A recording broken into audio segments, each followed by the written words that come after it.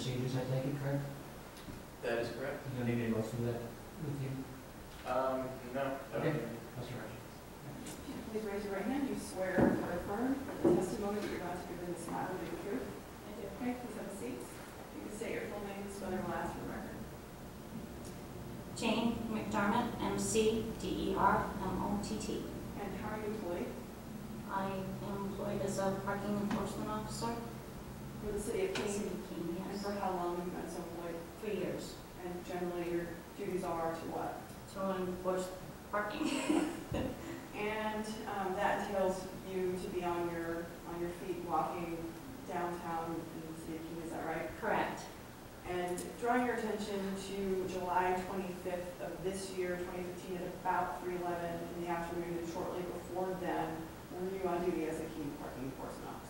Yes, I was. And at about that time, do you recall um, seeing anyone that prompted, and seeing something that prompted you to make a call to to the Keene Police Department? Yes, I did. Um, Can you I- describe what you observed? I was walking on the west side of Main, of Main Street, walking north, and, um, Garret Ean was trying to get in front of me to do his Robin Hooding. He was on a bicycle, and he was riding on the sidewalk, and there was a, um, citizen that was walking beside me on my right. And as Garret was trying to get in front of me, it startled the citizen, and he angrily asked Garret, um, by saying, you on the bike, would you please get off your bike, we have an ordinance. Um, and Garrett ignored him, and then he, the citizen looked at me and asked me if there was in fact an ordinance. And I said yes, and he said, well, don't you have contact with the police department so that they can do something?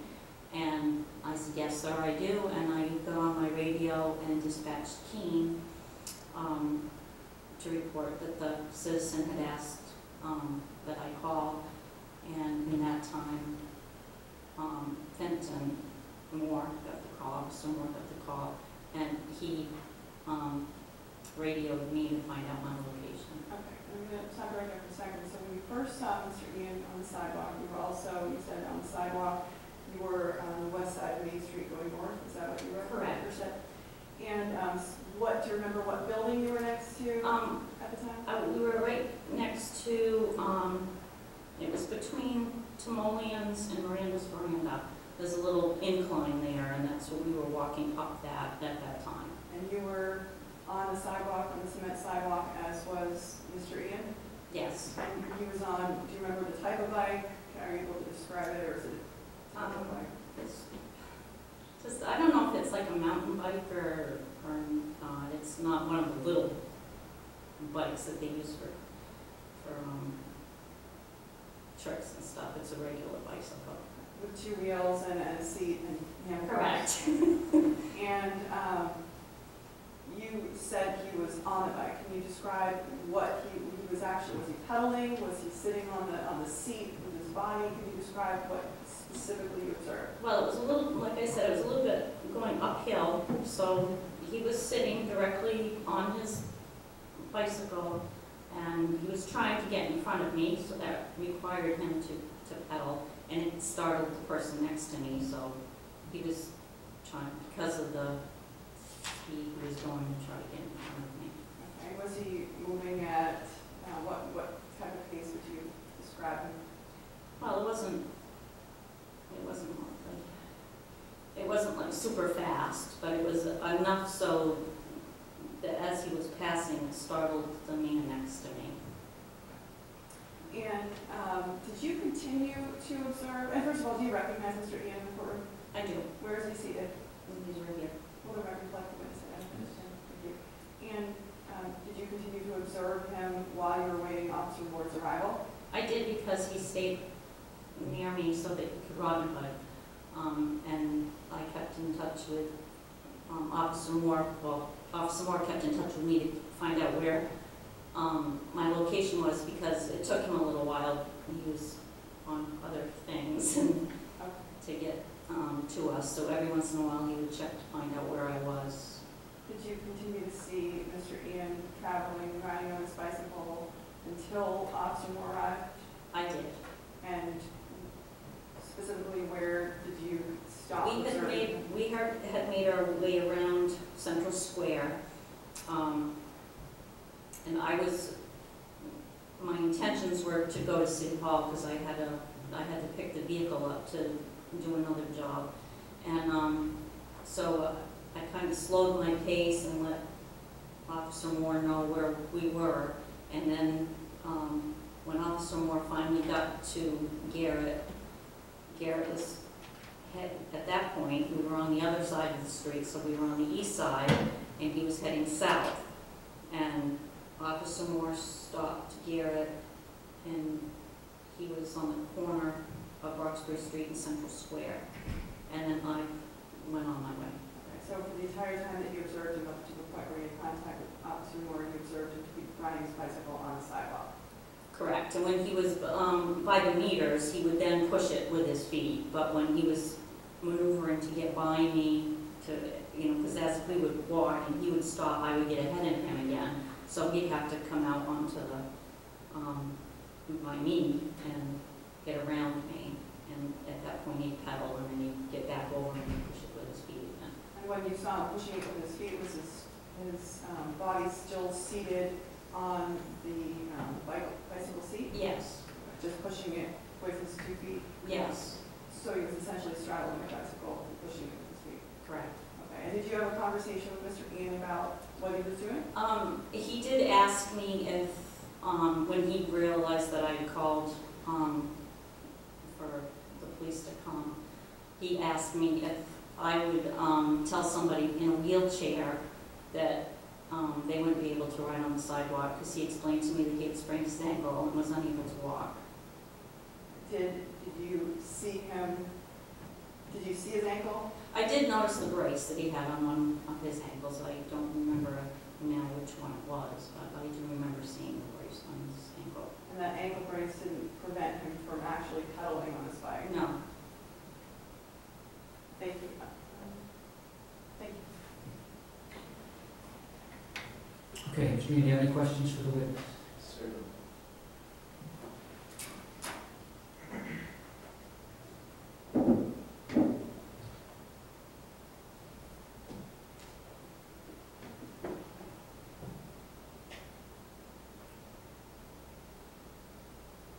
Ms. McDermott, you identified that you were familiar with the defendant, in this case myself, prior to the incidents on this day, correct?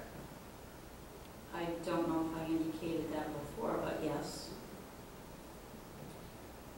And have you previously observed um, the defendant riding a bicycle downtown in Keene? yes. Has it been a concern for you in the past? At times there any I, relevance to what has happened in the past? She already answered that. Um, so, in the past, have you called the police about uh, myself riding a bicycle? Objection, relevance. What- what- What's the relevance of any past calls? Um, I'd say it's, uh, it establishes what motivated uh, there to be a call in this instance, which has been established. She she can answer. so repeat Yes, go again? Um, have you ever called the police or been, felt the need to do that same, take that same action in the past? Um, actually, uh, with you or with anybody? Um, sure, I'll ask about myself specifically. Um, there was only one other time I called, and it was after this particular incident.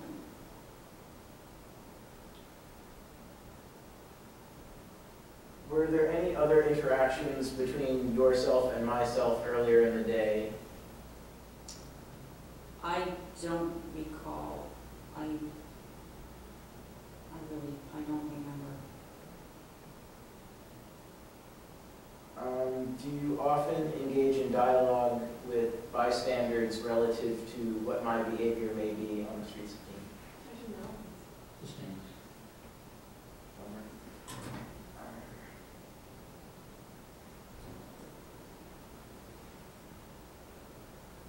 Officer McDermott, are you familiar with the bicycle sidewalk statute in Keene, the city ordinance? I don't, I've never read it, I've just seen the, the signs, and I know that it's an indication of the downtown area. Are you aware that it is legal to ride a bicycle in a great portion of the downtown area, but only not in specific sections per the city ordinance? I'm not familiar with it, no. Did you make any comments about the safety of my bicycle operation on that day? I so.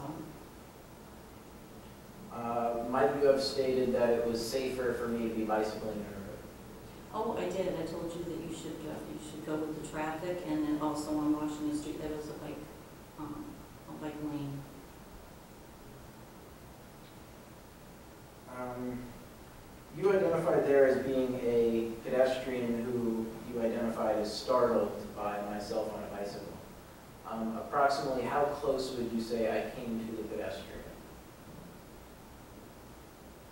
I don't know how close you came, and I don't know if it was relevant to you being close, but he was standing beside me, and at my peripheral vision, I saw him kind of jump as you passed, and that's, and, and I could tell that at that point he got angry because he was, you heard how he spoke to you. Um, Okay, so it sounds like he may have been startled by something that was not any sort of immediate danger to him? Just the speed that you were passing at him, I think startled him, because it was unexpected. Okay, but it was a speed that you described as as it wasn't like super fast. Know, it wasn't like you were racing down the sidewalk, you were, but it was faster than people were walking, and that's what they expect to see, is other people walking. Um, Did you feel compelled to file a report to the police about this incident based on your interactions with that civilian? He asked me to, and I did, so yes. Um, Do you feel that he was in any way damaged by my actions? No, Um, You identified that at times you said, uh, my speed was such, even though it wasn't super fast, but such that I would have been required to have pedaled. Do you recall specifically observing me pedaling the bike on that day, on the sidewalk? yes, And specifically on the sidewalk and not in the road or an entryway there or an alleyway? I, I don't recall you being in the alleyway, I, I don't know, I, I'm not sure what you're, what you're asking. To be more specific, can you de- definitively identify a location on downtown Keene on Main Street where you observed myself pedaling, uh, seated upon and pedaling a bicycle on the sidewalk? Yes, and you actually had to have pedaled, you, you were pedaling when you were beside me, because we were going uphill. Um, Is that because you observed me pedaling or you Yes. estimated based on the speed at which I was traveling? I saw you pedaling.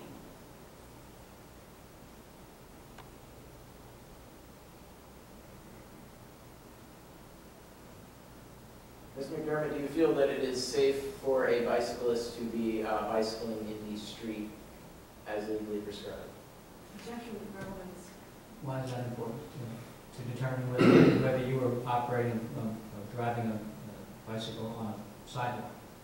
Um, Well, since Ms. McDermott uh, identified herself as having uh, given me advice upon that day about bicycling in the road, I would like to ask if she feels that it is actually safer to operate a bicycle there as opposed to... The question is whether it's safe, it's whether it's legal. So, um, she has not answered. It's not relevant. I get your point, though.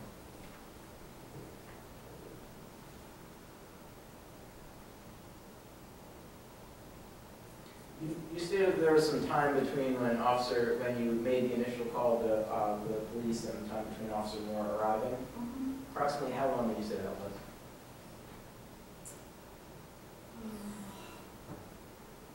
I don't know, maybe fifteen minutes, twenty minutes maybe at the most. And uh, you had made a statement about myself having interacted with you about having noticed that you had called the police about the bicycling, correct? No, I, I said I suspect it was because you knew I had called.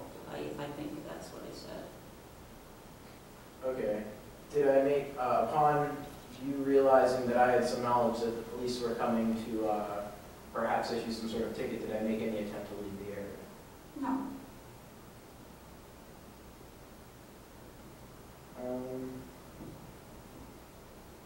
Are you familiar with the Americans with Disabilities Act?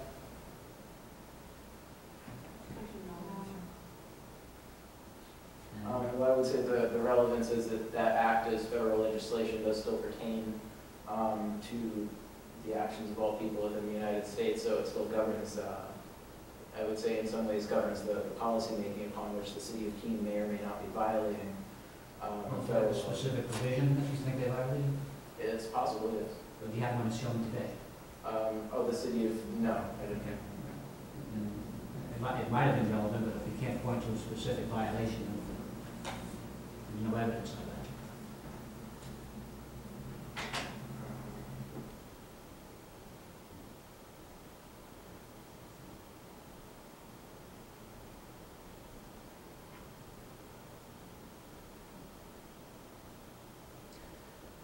On the date in question, you observed